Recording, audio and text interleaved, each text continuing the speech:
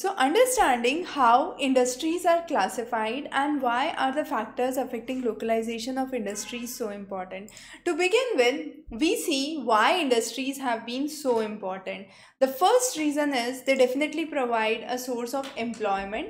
Now they don't just only provide employment but they also help in generating the national income. So they are the drivers of the indian of the national economy be it any nation that we focus and they contribute to the development of that nation. So industries are definitely an essential component. Now why industries are used?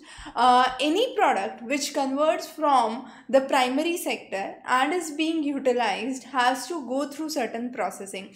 And this processing undergoes through industries. For example, let's say we have any uh, agriculture material which is available. We take a simple example cotton. Now this cotton undergoes a process and it turns into a textile. Now this process is happening through the industries and therefore industries are essential.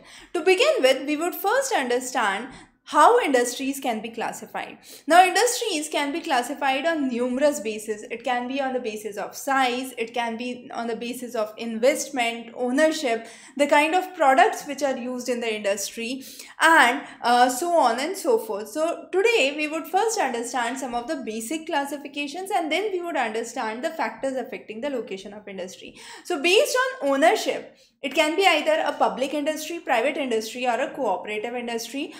Is an excellent example of cooperative industry where people come together and work as a unit. Public industry is an industry which is controlled and funded by the government. However, private is under a private control. So, uh, the industries which are meant for strategic purpose, defense, security are mostly in the public sector, not just in India, but across the globe. That's a common phenomena that we witness. The next is the classification based on the use of product. Now it's very important to understand this is how we write our answers. Let's say you have a question on understanding the types of industries. We don't just put that okay there is a large scale industry, small scale, medium scale, private, joint but we rather classify it and subclassify it that makes the content much more systematic. So here based on the use of product the industry can be called as a basic good industry, capital good industry, intermediate and consumer. Now consumer goods. Now what are the differences? Basic good industry is an industry that manufactures the basic material. I want to establish an industry. Now for that industry I would require machinery, manufacturing plants. What are those? Those are basic goods which are required for the functioning of the industry and therefore, therefore they are called as the basic goods. The next is capital goods. Capital goods are the assets, the building, the machinery, the tools, the vehicles, all these are capital goods. So, they are uh, they are there for a prolonged period of time and uh, they do not make the finished good they are actually used in the process of making the finished good.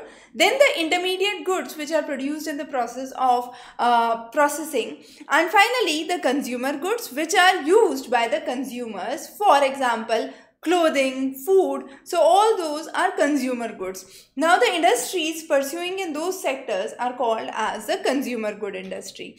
The next good classification is based on raw material. I can say an industry which relies on agriculture based products would be called as agri agro based industry or agriculture based industry cotton textile is a good example. We have mineral based industry where we have iron and steel as a good example. Raw material based industry which is based on raw material. Uh, now raw material could again be from agriculture from mining. So it's the the location that we would understand later is closer to the raw material. Then we do have forest based industry where we have uh, produ products from forest which are used in the process of industry for example manufacturing and selling of honey is a forest based industry. Now it could be small scale, large scale or medium scale based on the size. Based on the nature of products, we have eight further classification. It can be either metallurgical industries, uh, which are used in the manufacturing of metals mechanical engineering industries, chemical engineering, which are mainly allied to pharmaceuticals and the chemical compounds used for uh, various purposes, textile, which is cotton textile, food processing, which is again the agro-based industry, electricity generation, electronics and communication industries. So that's another classification based on the nature of product. Now coming on to the factors of location of an industry. Now again this is a very very interesting and an important topic to understand. In the higher classes as we go, we would understand a model which is known as Weber's theory for industrial location, one of the most common and popular theories under industrial location. But we do have other scientists and other geographers as well who have laid down the localization theory. But what was so unique about the Weber's theory was the location triangle. And this triangle talked about where the industry would be if there are raw material and finished product. Now the industry where raw material is heavy, in that case the industry would be close to the raw material. For example, iron and steel uses lots of iron, lots of uh, coal which is bulky to transport and therefore the industry would be most probably near raw material. For uh, example, we have textile industry. Now cloth uh, being manufactured from cotton. Now once you have the cotton yarn with you, uh, where could you have the cotton textile industry? Probably close to the market. So you would have better reach, better availability. Now industries which are weight losing. Uh, weight losing that means they lose weight in the process of manufacturing. For example, iron steel, uh, sugar cane, industry, paper and pulp industry, all those weight losing industries are located close to the source of raw material. So as I said, Iron and steel industry is a good example. Paper and pulp industry, sugarcane industry, sugar being bulky to transport, all those are located close to the source of raw material. Now, for iron and steel we would have a separate case study but to understand that uh, for optimum use they are located close to not only the iron fields but also the coal fields. Major coal fields in india are in bokaro durgapur. Then we have iron ore from bhadravati rourkela uh, bhilai. So the industries would be closer to those locations. Market as we said heavy machine tools uh, anything which is non weight losing. So weight losing would be close to market non weight losing would be uh, close to market area. Clear? The next is power. For example uh, aluminium industry we have synthetic nitrogen industry. Both of those industries are closer to the source of power because they require huge amount of energy in them uh, in the processing and therefore aluminium and synthetic nitrogen are two typical industries located close to power. The next is transport industry. Now uh, uh, location because of transport. Now we do understand that transport is a bigger cost. So if the cost of transport is too much then it would definitely have an impact on the final product. So we ensure that the cost is remained optimum so that the product price which is finally there after processing is not extremely लिखा है। Similarly labour Cheap labor is one of the factors which decide the localization of industry.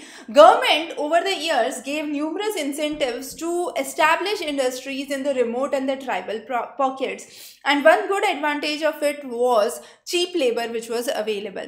The next is historical factors. For example, Surat, Vadodara, Murshidabad, Coimbatore, Kozhikode, Mysore. These were some of the historical areas. Now during the phase of colonialism, these were the areas where rapid expansion started. And this also led to discriminatory policies during the colonial time which eventually led to establishment and uh, more flourishing more uh, more industries which could flourish in those areas.